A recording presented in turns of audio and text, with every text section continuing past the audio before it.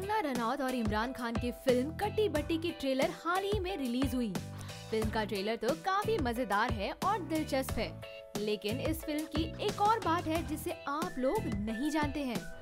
यूँ तो हर फ़िल्म की कहानी लिखते समय एक वर्किंग टाइटल दिया जाता है। बाद में फाइनल करते वक्त या तो वही नाम रख देते हैं या बदल देते हैं ज़रूरत के अनुसार।